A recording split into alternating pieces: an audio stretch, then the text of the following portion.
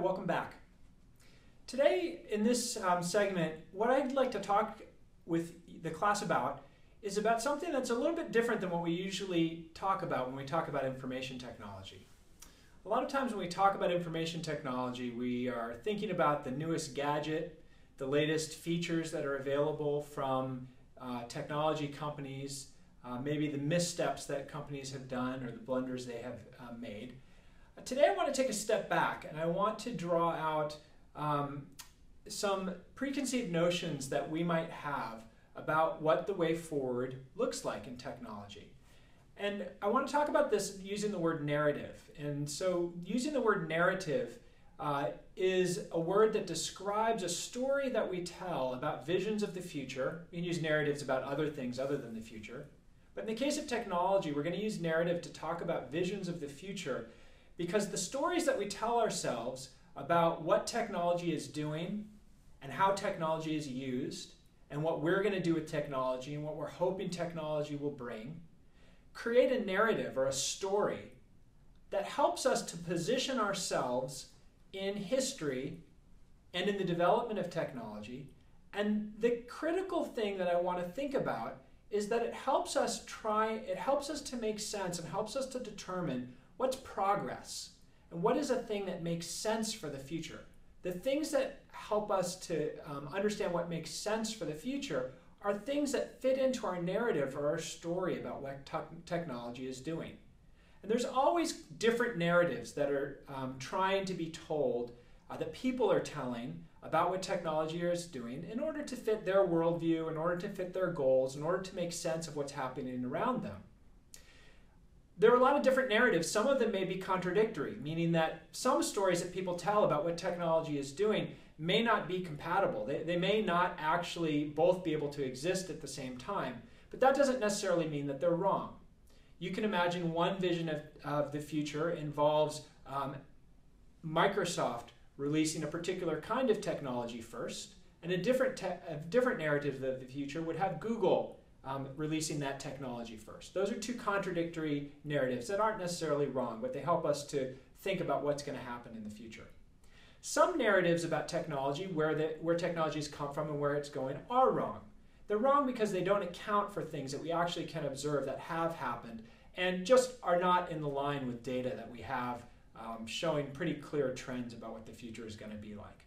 So let's think about some of the um, technological trends that we use and a lot of times aren't even really conscious of. Um, let's look at four of them. The first one that I want to talk about is one that's broadly called technological determinism. And this book here by uh, Smith and Marx um, talks a lot about it and how technology, it's called Does Technology Drive History? And it talks a little bit about that. Technological determinism, and I'll read the slide here, is a reductionist theory that presumes that a society's technology drives the development of its social structure and its cultural values. The first major elaboration of technological determinism came from Karl Marx, whose theoretical framework was based upon the idea that changes in technology and productive technology are the primary influence on the organization of social relations and that social relations and cultural practices ultimately revolve around the technological and economic base of a society. Marx's position has become embedded in contemporary society where the idea that fast changing technologies that altered human lives is all pervasive.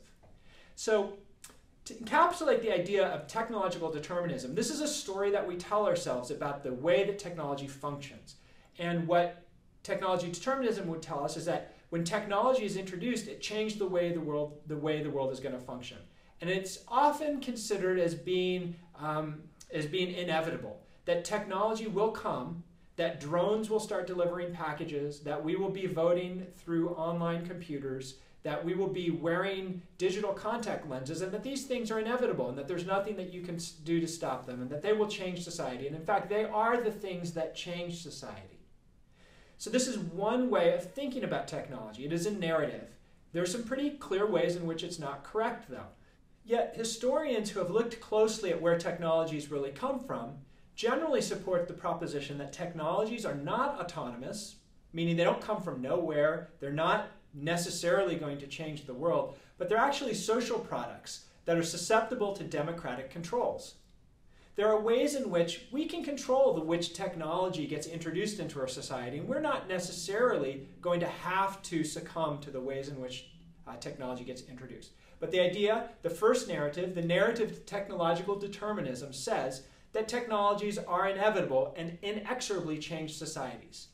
So when I, when I bring this up and with the other ones, what I want you to understand this is as is a way in which we talk about technology implicitly, that we say things about technology that imply that we have no control over them, that they're coming no matter what, and that they're just something that we're going to have to deal with. When we take a step back and we talk about this as a narrative, we talk about it as technological determinism.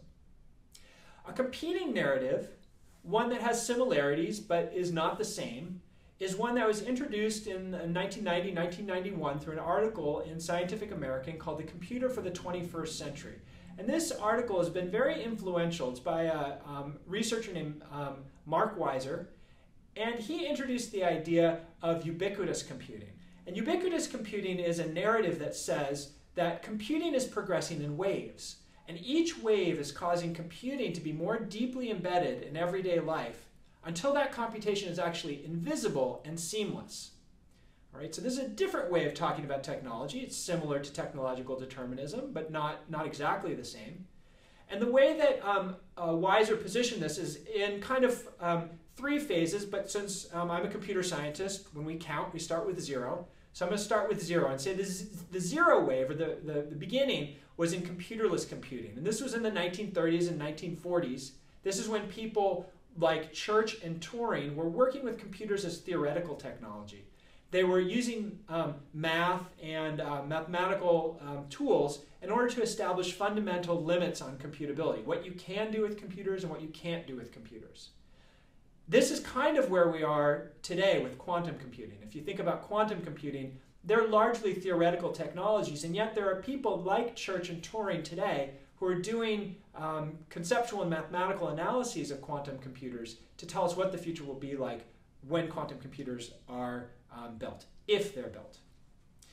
Weiser's first wave of computing was really mainframe computing. This was in the 1960s and 1970s, this is when we had massive computers, not very many of them, uh, that were doing very simple data processing, but were, were, largely influential. There were very few of them in the world, and they were largely at big companies, um, universities, national research laboratories, uh, where they were doing things like processing large amounts of financial data, doing mathematical and scientific simulations. The second wave of computing was desktop computing in the 1980s and 1990s. This is when business applications were driving usage, when Microsoft became prominent. When one computer per desk, at least at the office, was the norm, and computers began to be connected into intranets to a massive global network that we know of today as the internet. So, although we talked about in, previous lectures about the internet starting in 1969, it wasn't until 1980 or 1990 where the internet started to make inroads into the business environments in which desktop computers were located. All these computers in this wave were wired. The third wave would be what Weiser described as ubiquitous computing. And remember, this was 1990 when he was making these predictions, and he was looking forward to an age which we would probably say started about the year 2000. Maybe we'd go a little bit further into the future, 2007 with the release of the iPhone, in which information creation, access, and communication are really driving usage as opposed to business. Uh, in this case, there are multiple computers per person, uh, per environment, Words like WANs, LANs, personal area networks, ad hoc networking, and wireless computing became prominent.